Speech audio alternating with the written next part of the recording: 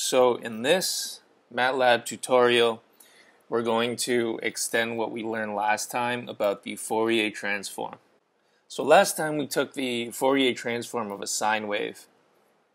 And if you've ever studied the Fourier transform in school, um, you know that when you take the Fourier transform of a sine wave, you should see a delta function or a spike in the frequency domain. And what we were seeing was something a little strange. So let's suppose I set my x to linspace 0 going to 5 pi with a thousand points and then I plot real FFT sine of x.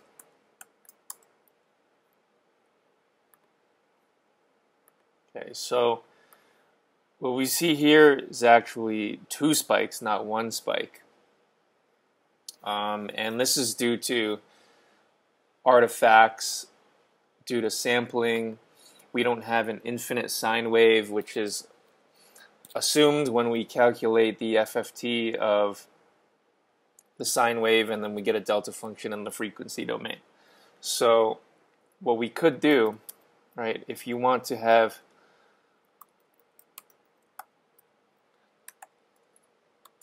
closer to an infinite sine wave, you could do 0 to 10 pi. So that's five full sine waves, and then do 500 samples.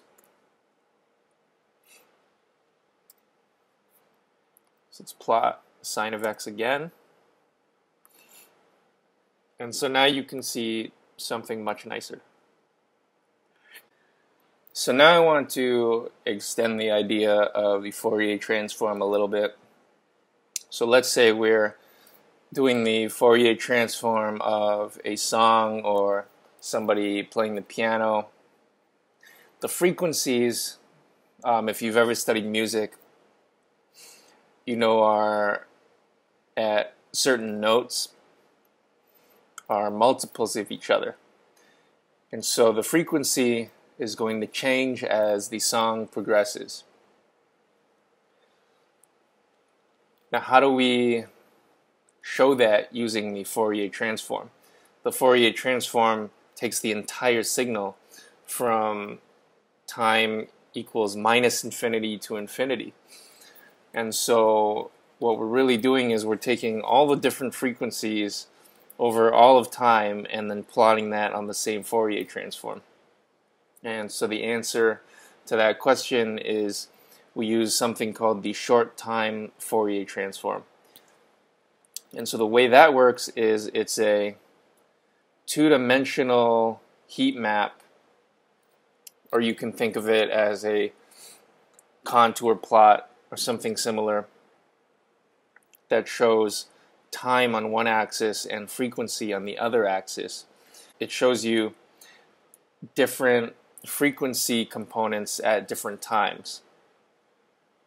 And the way it works is it takes the Fourier transform of small windows of time and then moves it along the signal as time goes on. So it's only showing you the frequency spectrum of a small window at each time. Another name for the short time Fourier transform is the spectrogram. So if we look here, there are different function signatures that you could use. Notice that we require the signal processing toolbox if we want to use this method. So spectrogram looks something like this. You have time and frequency and it shows you how the frequency, the main frequency component is changing as time goes on. So how do we create, let's say we want to test this function out, how do we create a function that changes frequency as time goes on? So let's say we set x as before. Actually, I've already assigned it. So it goes from 0 to 5 pi, or 0 to 10 pi, and has 5,000 points. So suppose we set the frequency. So a wave looks like this. Frequency times time.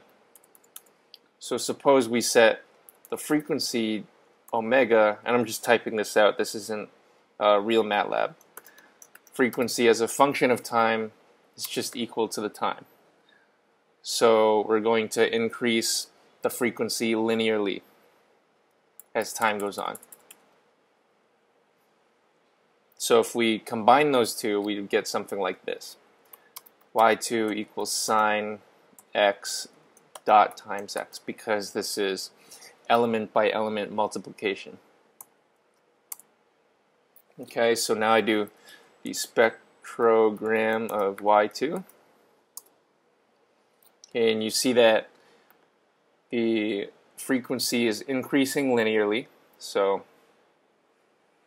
it takes an equal size step at each window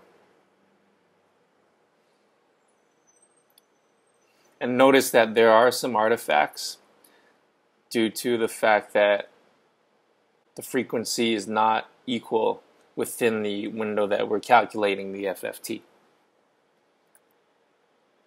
So you notice that it looked kind of blockish. What you can do is you can pass in the window size along with the data. So let's try a window size of 100.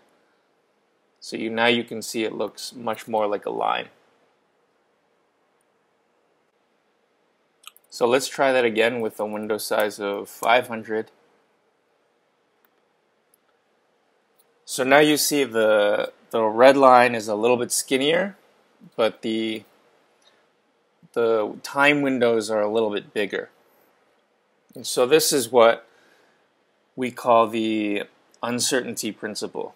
And you may have heard this if you've taken um, quantum mechanics. The uncertainty principle, when you measure the momentum and it's very accurate, you can't measure the position as accurately. So it's the same when you're taking the Fourier transform, because if we want to know the frequency very accurately, we need to have a very long window of time. But that gives us different frequencies at a lot of different times. If we want to know the frequency at a very specific time, we have to shorten the window. But then we have we have a frequency that's not as accurate.